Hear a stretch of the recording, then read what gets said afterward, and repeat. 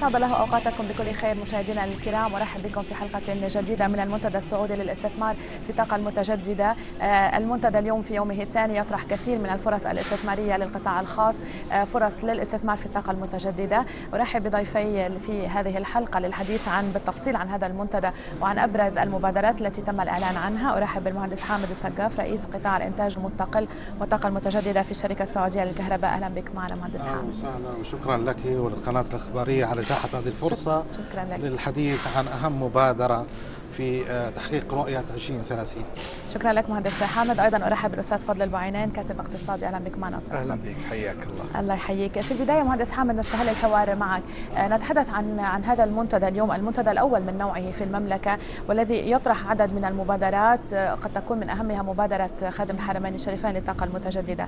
حدثنا في البداية عن هذا المنتدى أهمية انعقاده في هذه المرحلة بالذات. طبعا أختي الكريمة يأتي المنتدى تزامنا مع طرح أول وثيقة لمشروع طاقة متجددة بتقنية الطاقة الشمسية الكهروضوئية اللي نعم. هو 300 ميجا نعم. وهذه هي الجولة الأولى للمبادرة طبعا كما أوضح معالي الوزير الهدف من هذه المبادرة هو إدخال حوالي 3450 ميجا واط خلال ثلاث سنوات إلى عام 2020 ضمن برنامج التحول الوطني وكذلك إدخال حوالي 9500 ميجا واط من تقنيات مختلفة بحلول عام 2023 نعم. لتحقيق الرؤية 2030 نعم. المنتدى اليوم آه، و- وأمس كان آه، يتزامن مع طرح وثيقة آه، طلب العروض من المطورين نعم. طبعا سبقته عمل دؤوب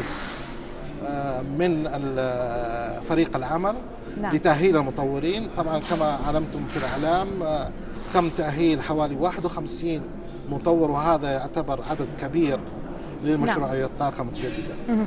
آه، ممتاز. آه، أستاذ فضل أسألك بشكل عام في البداية عن هذا المنتدى والذي يأتي كما أشار مهندس حامد من ضمن مبادرات وزارة الطاقة والصناعة والثروة المعدنية ضمن برنامج تحول الوطني 2020 كيف تقرؤون هذا التوجه تزامنا أو الذي يوافق الرؤية آه، رؤية 2030 أبدأ اولا من خطاب معالي وزير الطاقة. نعم. آه، الذي كان مفصلا فيما يتعلق بمستقبل الطاقة البديلة في المملكة العربية السعودية وهو خطاب نعم. شامل.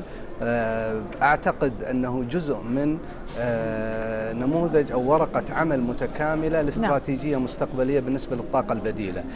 وأشيد بهذا الخطاب ومما جاء فيه خاصة أن المستثمرين آه، بدأوا يتلمسون أن هناك جدية حقيقية في المملكة العربية السعودية للتوسع آه، في الاستثمار في الطاقة البديلة. عندما ننتقل إلى رؤية المملكة 2030 نجد أن من أهم أهداف آه، الرؤية أن يكون هناك تحقيقا آه، إنتاج ما يقرب من آه، 9.5 من 10 بالجيجا بحلول عام 2030 معالي الوزير أشار إلى أن بحلول عام 2030 سيكون هناك آه، إنتاج ما يقرب من 10% من الطاقة الكلية من خلال الطاقة البديلة وبالرغم من أهمية هذه النسبة إلا أنني أعتقد آه، أنه آه، ربما ربما تكون هذه النسبة أقل من المطلوب ولكن ربما يكون هناك تحفظ في البداية لأننا نعم. لم نبدأ إلا الآن في مشروعات الطاقة وربما يكون السبعمية ال- ال- المشروعين ال 300 وال 400 الذين آه، طرح مؤخرا يكون مرحلة بداية أولى. مرحلة أولى وبداية الانطلاقة السريعة من خلال هذين المشروعين نعم. ستت ستكتشف الوزارة قدرتها على آه، تسريع هذه العملية أو الإبطاء فيها ولكني أعتقد أن مشروعات الطاقة البديلة بمجرد أن آه، تبدأ ال- الحكومة بتنفيذها ستجد أنها قادرة على تنفيذ آه، مشاريع أكبر من نعم. من مما يتوقع نعم. آه، مهندس حامد آه، المبادرات التي أعلنت من أهمها آه، مبادرة خادم الحرمين الشريفين للطاقة المتجددة. كيف ستكون آلية العمل للوصول إلى أهداف هذه المبادرات التي تم الإعلان عنها؟ طبعا لتحقيق الهدف تم إنشاء مكتب لتطوير مشاريع الطاقة المتجددة. يعمل تحت مظلة وزارة الطاقة والثروة المعدنية. نعم. هذا المكتب به خبرات كبيرة من أصحاب الخبرة. يرأس أو يوجه هذا المكتب آه، لجنة آه، يرأسها معالي الوزير وفي عضويتها الجهات ذات العلاقة الشركة نعم. السعودية للكهرباء مدينة الملك عبد الله للطاقة النووية المتجددة والنووية نعم. آه شركة أرامكو السعودية آه وهيئة تنظيم الكهرباء نعم. وبالتالي هذا المكتب يقوم آه بإعداد وثائق التأهيل والطرح نعم آه، أستاذ فضل أهم المبادرات التي تم الإعلان عنها و أين تكمن أهمية هذه المبادرات؟ دعيني أعود إلى السؤال الأول وإشارة جميلة أشار لها أخي فيما يتعلق بوجود المكتب في وزارة الطاقة وفي نعم. فترة سابقة لم يكن لدينا المظلة التي تعنى بقطاع الطاقة بشكل شمولي وعندما نتحدث عن الاستثمار في الطاقة البديلة نجد أن هذه الاستثمارات أو المشروعات نعم. موزعة بين جهات مختلفة لا يربطها رابط فيما بينها نعم. اليوم لدينا وزارة الطاقة أصبحت هي المظلة الكبرى لقطاع الطاقة. ومن ثم نجد أن هناك أيضا تركيزا أكبر في جمع جميع هذه القطاعات الموزعة في جهات مختلفة تحت مظلة الوزارة وفي مكتب يرأسه الوزير شخصيا وبالتالي نعم. تكون عملية التنسيق بين هذه الجهات أكثر ديناميكية وبالتالي تسريع لعملية آه، الإنتاج من جانب آخر المستثمر عندما يأتي إلى السوق السعودية ولا يجد هذا التنظيم نعم. ربما يتأخر أو يشعر بأن هناك مخاطر أكبر آه، في السوق السعودية ويتوجه إلى الأسواق الأخرى اليوم أنا أعتقد أن وفق التنظيمات الأخيرة التي جرت في وزارة الطاقة آه، أننا ردمنا هذه الهوة التشريعية والتنظيمية وبالتالي نعم. هذا سيكون داعم بشكل أكبر للمستثمرين الاستثمار في قطاع آه، الطاقة أعود من جديد مرة أخرى إلى ما تحدثت عنه من المبادرات أنا أعتقد نعم. جميع المبادرات كانت جميلة الأول ما يتعلق بمبادرة خادم الحرمين الشريفين آه، للطاقة المتجددة وهو التزام حقيقي من قبل المملكة آه، أن تسهم في أن يكون لديها مزيج من إنتاج الطاقة بما يساعد على رفع نسبة الإنتاج من خلال الطاقة البديلة التي تساعد على خفض الانبعاثات وغيرها أيضا نعم. وهذا يساعدنا في المملكة العربية السعودية على تحقيق أمن الطاقة أيضا وبالتالي نعم. آه، يمكن أن نشعر بأمان في في هذا الجانب كل ما توسعنا في الطاقة البديلة الشمسية والرياح نعم. أيضا آه، هناك آه، توطين صناعة الطاقة المتجددة وهذه أشار لها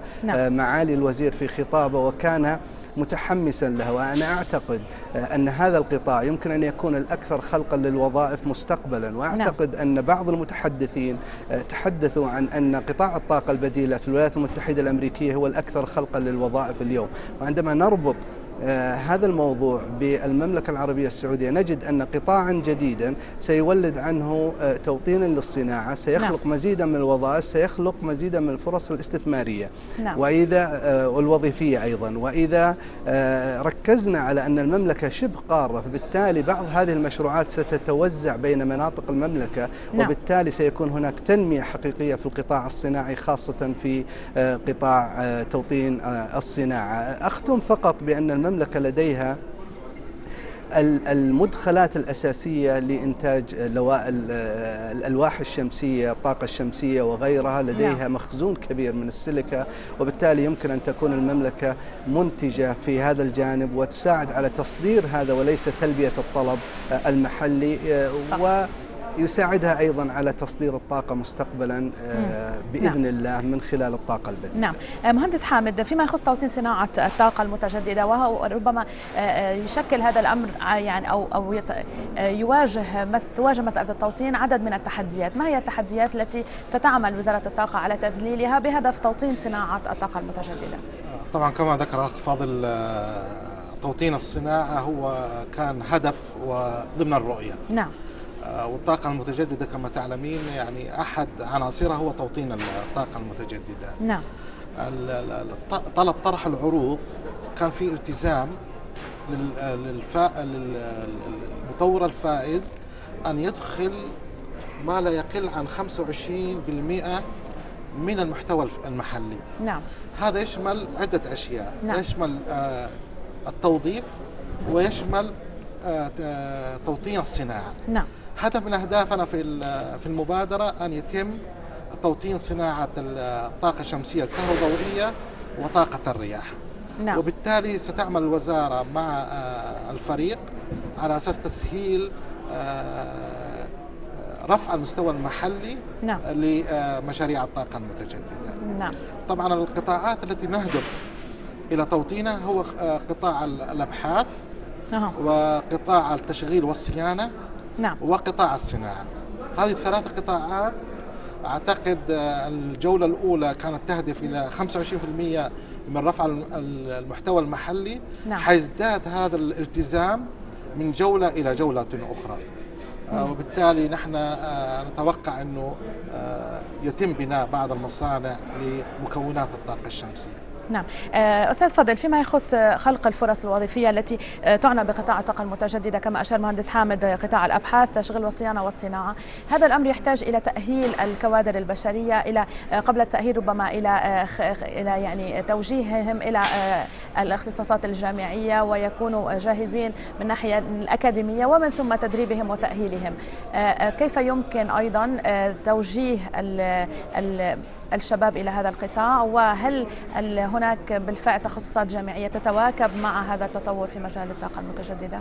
هذا جميل حقيقة خاصة ما يتعلق بتوجيه التعليم نعم. وبالتالي عندما نأتي إلى المبادرات لا يمكن أن تكون تنطلق المبادرات من وزارة ما دون أن تكون لها ارتباطات بوزارات أخرى نعم. وبالتالي عندما يكون لدينا أهداف مستقبلية فيما يتعلق بالطاقة البديلة فيجب أن يكون لدينا تخصصات تخرج لنا الطلاب الذين يستطيعون العمل في مثل هذه القطاعات اليوم لدينا بعض التخصصات الهندسية التي تساعد في تخريج بعض الطلاب ولكن آه، إذا كنا نتحدث عن توفير 10% من إنتاج الطاقة الكهربائية من خل- خلال الطاقة البديلة فذلك يعني أننا في أمس الحاجة إلى كوادر وطنية قادرة على أن تكون أولا قادرة على التشغيل ثانيا أن تكون أيضا آه، أن يكون حجمها متوافق مع الطلب الحقيقي في نعم. هذه المشروعات آه، المستقبلية. هل لدينا مثل هذه الأمور؟ أنا أعتقد آه، مبدئيا ربما يكون هناك آه، بعض ال- ال- التخصصات الجيدة الداعمة ولكن نحتاج إلى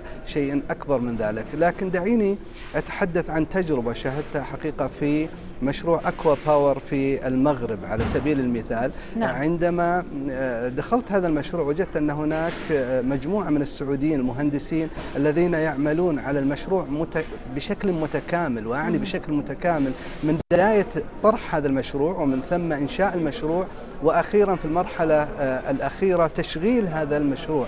هؤلاء الكوادر السعوديون أما يكون في في المغرب أو جنوب أفريقيا أو في دبي أو في الأردن نعم. ربما يكونون النواة الحقيقية التي يمكن أن تساعد في تشغيل مثل هذه المحطات مستقبلا وإنشائها وإن كنت أقول أننا في أمس الحاجة إلى أن تتضافر الجهود بين وزارة الطاقة وبين وزارة التعليم بما يساعد أها. على التوجيه الأمثل آه، ل آه، تخصصات تساعد على توفير متطلبات آه، حاجات سوق العمل خاصة في مجال الطاقة. نعم. مهندس حامد ما هي وجهة نظرك بهذا الشأن خاصة أن ال- الكوادر المؤهلة بحاجة إلى تدريب وإلى تأهيل بشكل أكبر؟ آه، خاصة وأن هذا ال- القطاع الطاقة المتجددة يحمل آه، أو هو قطاع واعد جدا للمستقبل. كيف يمكن تدريب وتأهيل الكوادر البشرية؟ آه، طبعا الشركة السعودية للكهرباء يعني آه، رائدة في هذا المجال. نحن بدأنا في مبادرات الطاقة المتجددة. نعم. آه، أذكر من عام 2011 آه، كان الغرض هو تدريب ال- ال- ال- آه، ال- الموظفين ال- السعوديين. نعم. آه، بدأنا في مشروعنا الأول آه، في جزيرة فرسان.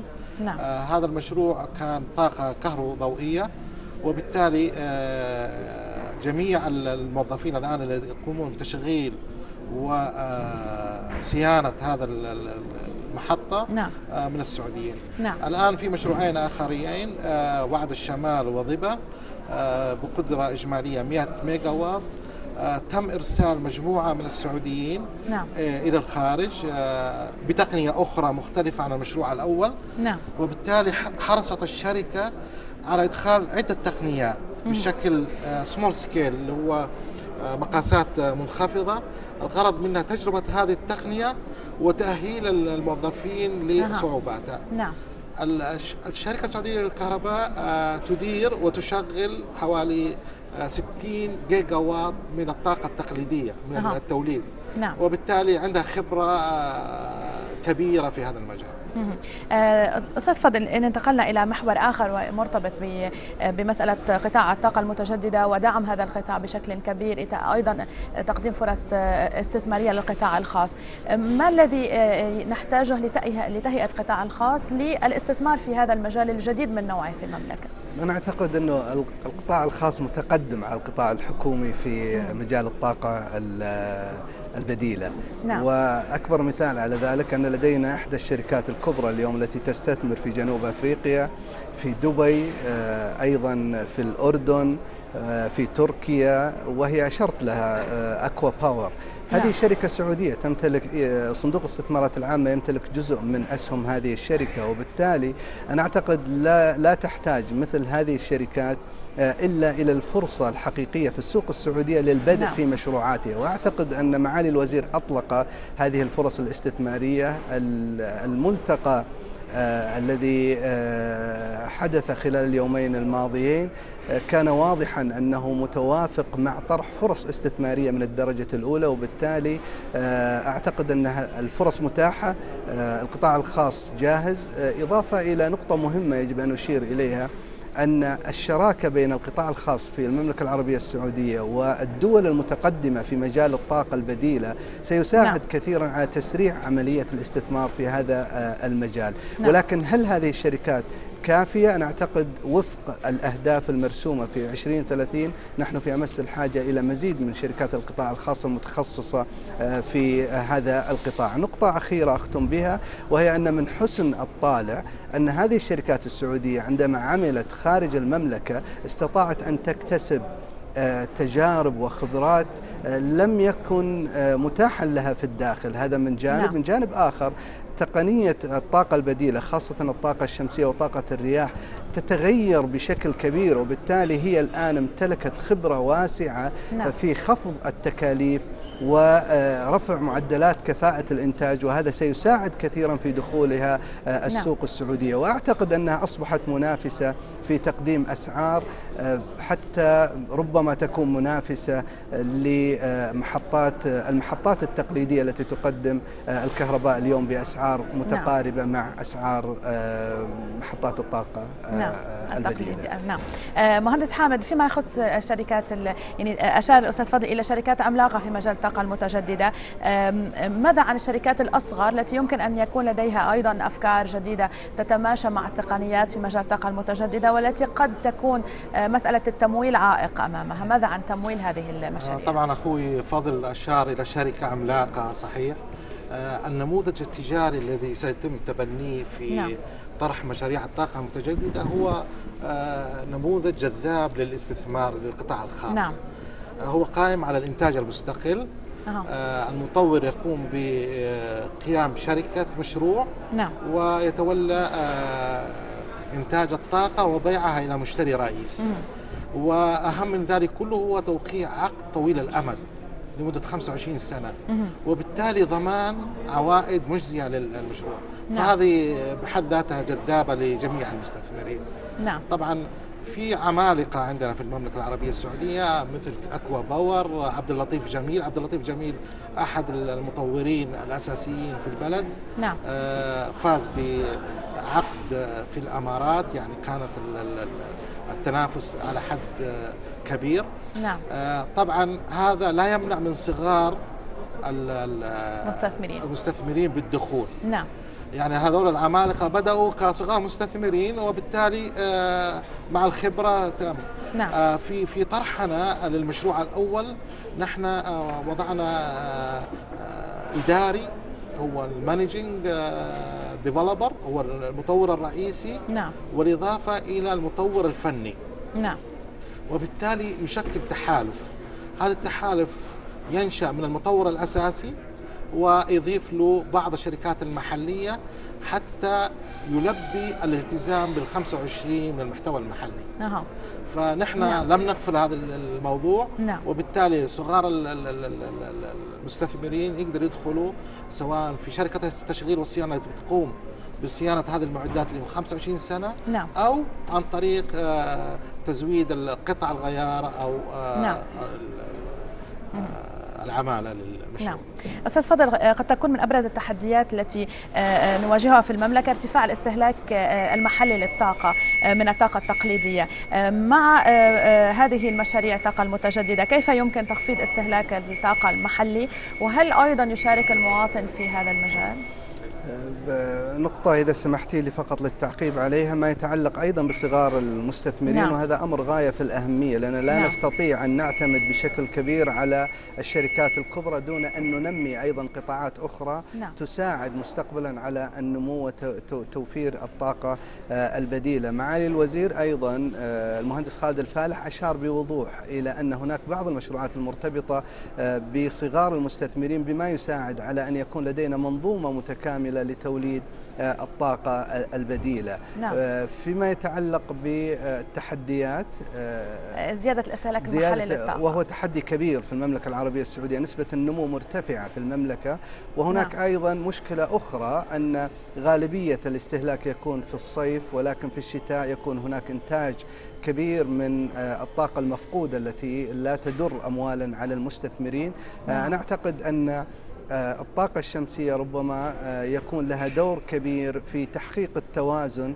آه، بين الطلب والإنتاج وبالتالي يكون هناك توزيع لهذه الأحمال. هذا من جانب. من جانب آخر يمكن أيضا متى ما استطعنا أن ننتج مزيد من الطاقة البديلة من خلال طاقة الرياح أو الطاقة الشمسية على سبيل المثال للحصر أن نخفض الضغط على الشبكة الأساسية وعلى المحطات الموجودة اليوم. هناك نعم. أيضا محور محور مهم فيما يتعلق بالطلب المتنامي على الكهرباء خاصة ما يتعلق بالمدن الطرفية البعيدة أو القرى نعم. وهذه تضع على المستثمرين كشركة الكهرباء على سبيل المثال آه، عبئا ماليا كبيرا لإيصال الكهرباء إلى هذه المدن اليوم نعم. آه، من خلال تجمعات الطاقة الشمسية يمكن أن تكون لدينا وحدات إنتاج هذه الطاقة بشكل متوافق مع حجم الطلب المتاح في مثل هذه القرى أو هذه آه، نعم. المدن ولكن أتفق معك أن هناك تحدي فيما يتعلق بحجم نمو الطلب على الكهرباء خاصة في القطاع السكني آه، وهذا عكس دول العالم الذي في الغالب يكون النمو الأكبر في القطاع الصناعي ونحن نتمنى نعم. أن يكون هذا النمو في القطاع الصناعي بما يعكس قوة الاقتصاد والتوسع في آه، قطاعات الاقتصاد بشكل عام. نعم. آه، أستاذ مهندس حامد أسألك عن أيضا من من من ما تم الإعلان عنه بالأمس توجه لإعادة هيكلة الشركة السعودية للكهرباء. لماذا؟ الشركة السعودية ضمن ضمن البرنامج هو إعادة هيكلة الشركة السعودية لخلق التنافس نعم. آه، في شركات التوليد. كما تعلمين أختي الكريمة أن الشركة تمتلك آه، معظم التوليد آه، نعم. وحتى يتم تحقيق المنافسة والشفافية. فسيتم إعادة هيكلة قطاع الإنتاج بالشركة. نعم. وكما أعلن البارحة سيتم إنشاء أربع شركات آه، تملكها الشركة السعودية للكهرباء آه، يتم توزيع الأصول التوليد عليها بشكل. متكافئ. نوع من خصخصة للشركة. آه هذا جزء آه إلى خصخصتها. نعم. طبعا نحن نهيئ للخصخصة مم. حتى يتم دخول المستثمرين القطاع الخاص نعم. لشراء الأصول.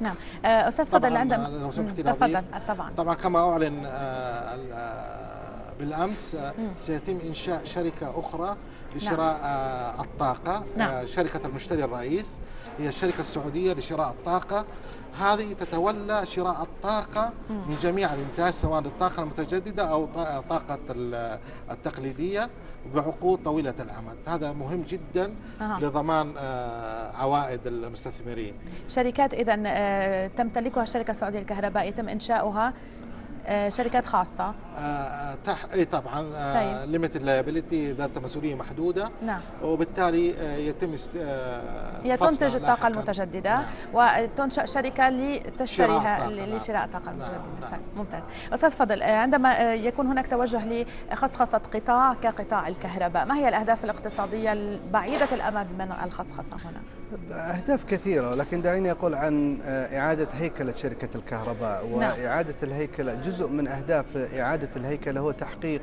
التنافسية أعلى معدلات التنافسية في السوق. فلا يمكن أن يكون هناك جهة محتكرة للإنتاج والنقل والتوزيع ثم تتنافس مع جهة أخرى فقط منتجة لهذه للكهرباء. وبالتالي سيكون آه، هناك ربما يكون هناك ضعف في التنافسية في السوق. وبالتالي عندما تقسم شركة الكهرباء أو تجزأ إلى شركات إنتاج ونقل وتوزيع فبالتالي ويكون هناك مصدر واحد لشراء الطاقة الكهربائية. سيكون هناك عدالة حقيقية في التسعير عدالة حقيقية في التنافسية في السوق. فشركة المنتج في شركة الكهرباء سيبيع على هذا المركز والمنتج في الطاقة الشمسية أيضا سيبيع على هذا المركز وسيكون هناك عدالة في تحديد آه، الأسعار. نعم. هذا بشكل آه، خاص آه، نأتي إلى سؤالك الخصخصة, الخصخصة. نعم. من أهم أهداف الخصخصة أن الحكومة تزيل عن كاهلها أعباء مالية لا تستطيع الوفاء بها وبالتالي يكون المستثمرون هم الذين ينتجون آه، الطاقة الكهربائية ويعيدون بيعها إلى المستهلك النهائي دون نعم. تدخل من قبل الحكومة النماذج العامة في جميع دول العالم هي النموذج نموذج القطاع الخاص الذي يستطيع أن ينمي الاقتصاد ويوفر الخدمة الجيدة إضافة إلى آه، رفع كفاءتها وخفض أسعارها. وإذا أردت آه، أضرب مثال في قطاع الاتصالات على سبيل المثال. نعم. عندما كان لدينا الهاتف السعودي كانت الخدمة متدنية وغير متوفرة والتكلفة مرتفعة. ثم بعد ذلك عندما دخلت شركات أخرى للسوق وجدنا أن هناك تنوعا في تقديم الخدمة ارتفاع في جودتها انخفاض في تكلفتها إضافة إلى أن الحكومة أصبحت آه، تحصل على إيرادات سنوية من هذا القطاع بدلا من أن تضخ أموال آه، إلى هذا القطاع. النقطة الأخيرة أن الحكومة لا تستطيع نعم. بقدراتها المالية الحالية التوسع بشكل أكبر بإدارة قطاع الكهرباء ومن المصلحة أن يكون هذا القطاع مدارا من قبل القطاع الخاص بما يساعد على تحقيق آه، التنمية فقط نعم. أختم بنقطة مهمة نعم. وهي أن القطاع الخاص دائما يركز على الربحية الحكومة تركز على التنمية نعم. وبالتالي يجب صحيح. أن نوازن بين التنمية والتوسع في آه، الربحية بما يساعد على عدم إثقال ممتاز. كاهل المواطن فيما يتعلق نعم. بالتسعير ممتاز. النهائي دهمنا الوقت بسرعة مهندس حامد هل من كلمة أخيرة تود أن تذكرها قبل أن نختم؟ آه شكرا طبعا زي ما ذكر بالبارحة هذا يوم تاريخي الحقيقة نعم. في إعلان المبادرة الطاقة المتجددة آه وكما ذكر معالي محافظ هيئة تنظيم الكهرباء سيتم فتح المجال لإدخال آه على أسطح المنازل أه. يعني البرنامج نحن نعمل مع الهيئة في هذا الخصوص وسيتاح للعموم المشتركين نعم. بتركيب الألواح الشمسية فوق أسطح المنازل وبالتالي يستطيع البيع لشركة الكهرباء مم. فيصير الإنتاج آه، في للاستهلاك وما زاد عن ممتاز. الاستهلاك يمكن بيعه للشركات ممتاز. شكرا, شكرا جزيلا لك مهندس حامد سقاف رئيس قطاع الإنتاج المستقل والطاقة المتجددة في الشركة السعودية للكهرباء. شكرا, شكرا. جزيلا لك. الأستاذ فضل بعينين الكاتب الاقتصادي أيضا. أشكر مشاركتك في حلقتنا اليوم. مشاهدينا الكرام بهذا نصل واياكم إلى ختام حلقتنا اليوم من المنتدى السعودي للاستثمار في الطاقة المتجددة. تحدثنا بالتفصيل عن المبادرات التي تم الإعلان عنها في هذا المنتدى مع ضيفينا في حلقة اليوم. ختاما أشكر طيب متابعتكم والى اللقاء.